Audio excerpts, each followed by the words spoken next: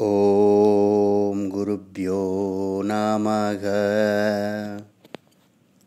இரண்டாவது அத்தியாயம் பதினான்காவது ஸ்லோகம் மாத்ரா ஸ்பர்ஷாஸ்து கௌந்தேய சீதோஷ்ணசுகதுக்கதாக ஆகமாபாயினோ நித்யாக தாம் திதிக்ஷஸ்வ பாரத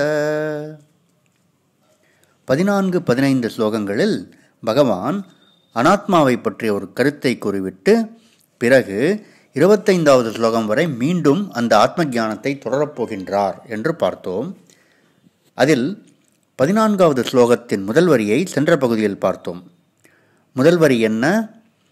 மாத்ரா ஸ்பர்ஷாஸ்து கௌந்தேய சீதோஷ்ண சுகதுக்கதாக.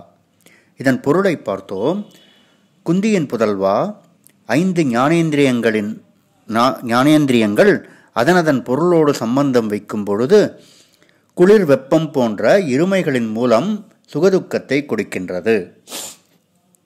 இனி இரண்டாவது வரிக்கு சென்றால் ஆகா மாபாயினோ அனித்யாகா தாம் திதிக்ஷஸ்வ பாரத பாரத என்பது அர்ஜுனனின் பெயர் பரதகுல தோன்றலே.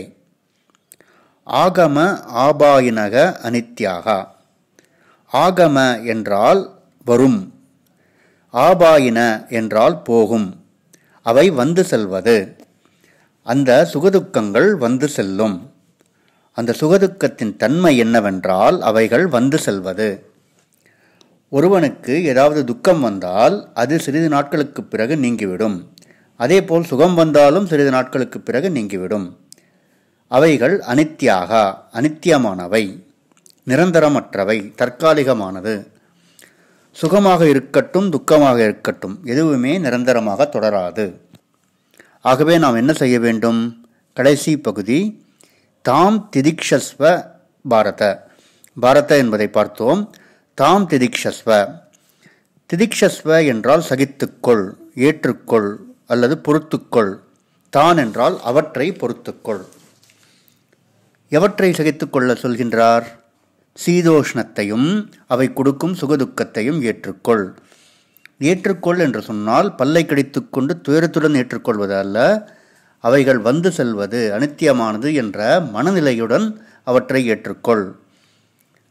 அவை வரும்பொழுதும் துள்ளாமலும் சுகம் வரும்போது துள்ளாமலும் துக்கம் வரும்பொழுது துவளாமலும் ஏற்றுக்கொள்ளுதல். இனி இந்த ஸ்லோகத்தின் பொருளை பார்த்தால் ஹே குந்திபுத்ரா இந்திரியங்கள் அதனதன் பொருட்களோடு வைக்கும் சம்பந்தம் குளிர் வெப்பம் போன்ற இருமைகளின் மூலமாக சுகதுக்கத்தை கொடுக்கின்றது. ஏ பரதகுலத் தோன்றலே அவைகள் வந்து செல்வது அனித்தியமானது அவற்றை சகித்துக்கொள். அவ்விதம் சகித்துக்கொள்வதால் வரும் பலன் என்ன? என்பதை அடுத்த ஸ்லோகத்தில் சொல்கின்றார். அதை அடுத்த பகுதியில் பார்க்கலாம். ஓம் சாந்தி சாந்தி சாந்தி